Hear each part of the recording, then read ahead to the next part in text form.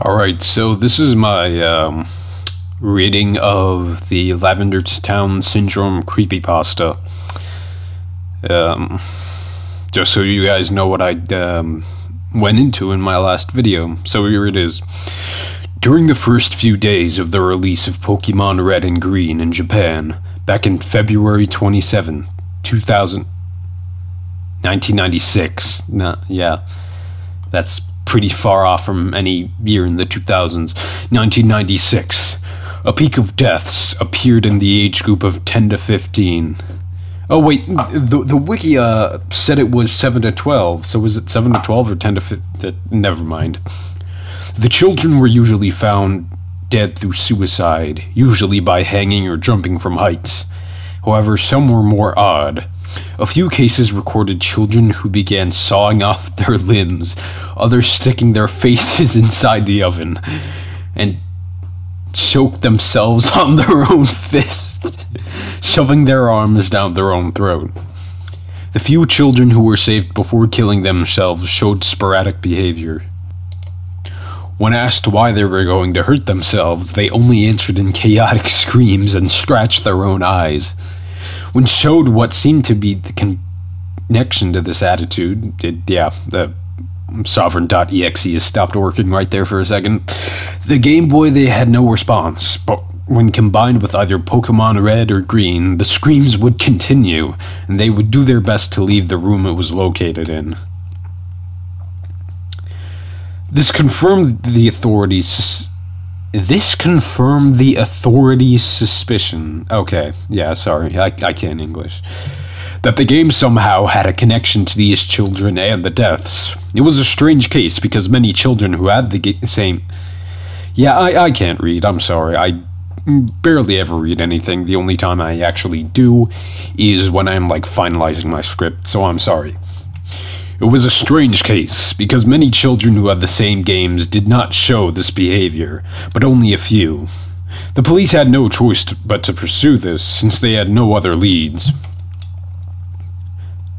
Collecting all the cartridges these children had purchased, they kept them sealed away as strong evidence to look over later.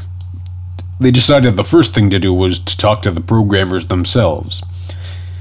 The first person they met was the director of the original games, Satoshi Tajiri. When told about the deaths surrounding his games, he seemed slightly uneasy but admitted nothing. He led them to the main programmers of the game, the people responsible for the actual content. Let me look up, is this uh, Satoshi guy actually like a real developer of the game? Yeah, apparently he is. Actually, wow. Okay. I I wonder what the legal ramifications were, like having a real person's name in, you know, this horror story. Uh, Attorney Tom, Attorney Tom, legal, legal. You know, get on this. Is this legal? Can they get away with that? All right, I'll shut up. The detectives met Takanori Uta one of the main programmers of the game.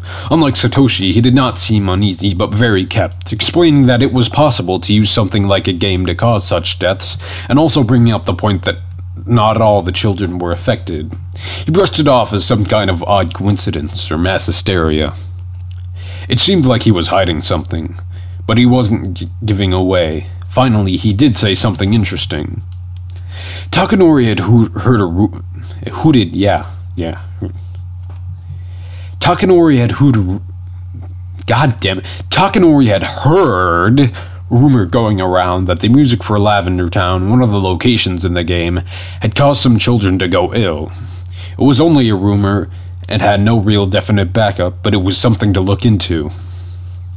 He directed the detectives to Junichi Masuda. I, uh, doing my research for this game, uh, or this video, I actually found out this guy was real. So again, you know, you have multiple people mentioned, real people mentioned in this fictional story.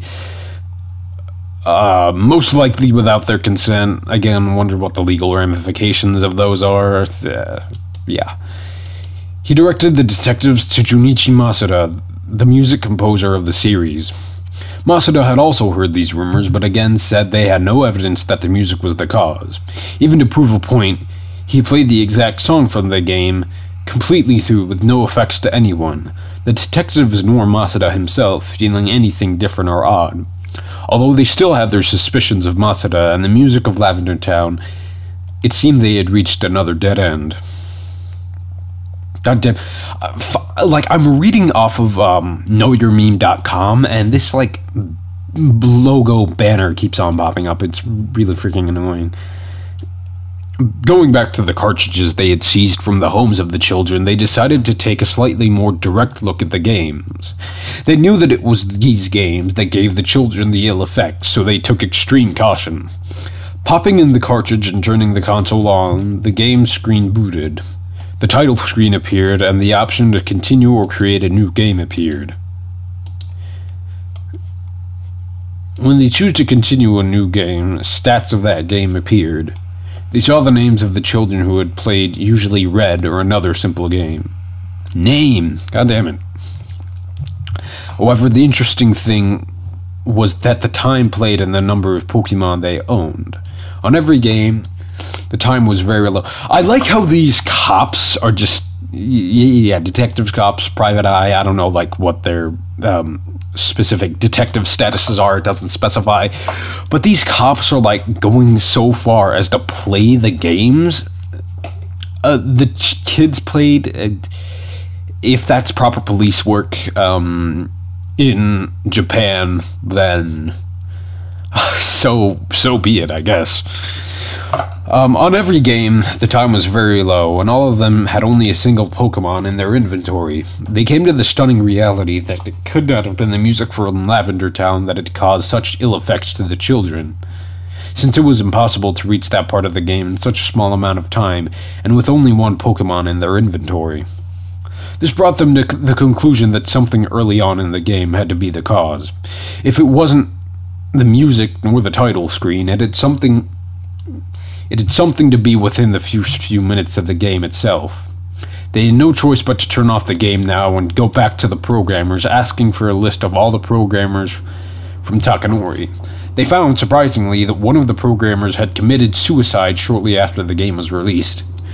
Well, you know, suicide rates in Japan, uh, correlation doesn't equal causation, but uh, alright. His name was Chiro Miura, a very obscure programmer who had provided very little for the game. Even more interestingly, he had requested his name did not appear in the credits of the game, and so it was not. Looking over at the evidence found at Chiro's apartment, they found many notes written in bold marker. Most of it was crumbled or marked out, making it very difficult to read. The very few words they could find in the mess was do not enter, watch out, and come follow me in bold. The detective. Sorry, I've got like a mucus phlegm hairball thing in my throat. The few words they could find in the mess. Oh, I already read that part, silly me. The detectives were unsure what these meant, but knew they had to have a connection. Further searching, they discovered Shiro was good friends with one of the map designers, Koji Nishino, and this was probably the only reason Shiro had given a part in making the game. Hold on, let me look if this guy is real. Uh, yeah, there are pictures of him coming up, so I'm gonna assume he's real. Mm, yeah. Again, another real person. This is a legal nightmare. Uh, to the original author of this pasta, be glad you remained anonymous. Koji Nishino, since the release of the game, had locked himself in his apartment, barely leaving in the dark of night to fetch anything he might need. He told his friends and family he was mourning for his dear friend Shiro, but they didn't believe this, since Nishino had locked himself up the day the game was put in stores, a few days before Shiro had killed himself. It was. Was troubling, but the authorities finally persuaded Nishino to sit down and speak with him. He looked as if he hadn't slept in days, dark rings under his eyes. He stung. His nails had grown black and his hair was greasy, sticking to his forehead and. What? What? What? How? Sticking to his forehead and neck. what? Uh, I'm not so sure. What? Okay, first off, the same hair. Oh well, according to his pictures, he's bald. He doesn't even have hair. But uh, oh, oh, I'm not trying to make sense of this anymore. Okay, he spoke in stutters and murmurs, but at least he had something to say. When asked if he knew anything about the children who had died after exposure of the game, and if it had any connection to the game, he answered them seemingly carefully, choosing his words thoughtfully. Th- yeah, thoughtfully. Let's let's just read it at that, okay? Thoughtfully before answering. He told them that his friend Shiro had an interesting idea with the game, something he had wanted to try since he heard the project was starting. Nishino himself knew Takanori, the director and main programmer, for a long time, so he could easily get a mediocre programmer in on the project with a little persuasion.